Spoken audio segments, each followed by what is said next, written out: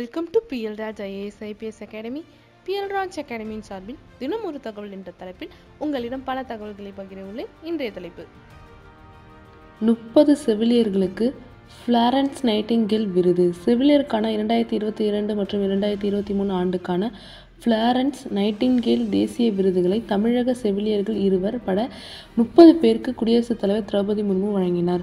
செவிலியர்கள் சமூகத்துக்கு ஆற்றும் உன்னத பணியை அங்கீகரிக்கும் வகையில் கடந்த ஆயிரத்தி தொள்ளாயிரத்தி எழுபத்தி மூணாம் ஆண்டு முதல் மத்திய சுகாதார மற்றும் குடும்ப நல அமைச்சகத்தின் சார்பில் கைவிலக்கேந்திய காரிகை என்றழைக்கப்படும் ஃப்ளாரன்ஸ் நைட்டிங்கேல் பெயரில் தேசிய விருதுகள் வழங்கப்பட்டு வருகின்றன. இதில் தமிழகத்தை சார்ந்த செவிலியர் கணபதி சாந்திக்கும் இரண்டாயிரத்தி இருபத்தி இரண்டாம் ஆண்டுக்கான விருதும் செவிலியர் சுகந்திக்கு இரண்டாயிரத்தி இருபத்தி மூணு ஆண்டுக்கான விருதும் வழங்கி கௌரவிக்கப்பட்டது. புதுச்சேரியை சார்ந்த சத்யகணி தியங்கராஜுக்கு இரண்டாயிரத்தி இருபத்தி மூணாம் ஆண்டுக்கான விருது வழங்கப்பட்டது. விருது பெற்றவர்களில் மேஜர் ஜெனரல் சுஷ்மிதா தேவ்ராணி இரண்டாயிரத்தி இருபத்தி ரெண்டு பிரிகோடியர் அமிதா தேவ் ராணி ஆகியோரும் அடங்குவர். உத்தரகாண்டை சார்ந்த சகோதரிகான இவர்கள் சிறந்த இராணுவ சேவை பணிக்காக விருது பெற்றுள்ளனர். இன்றைய தகவல் உங்களுக்கு பயனுள்ளதாக இருக்கும் நம்புகிறேன் மீண்டும் நாளை ஒரு சிறப்பு தகவலுடன் சந்திப்போம். நன்றி.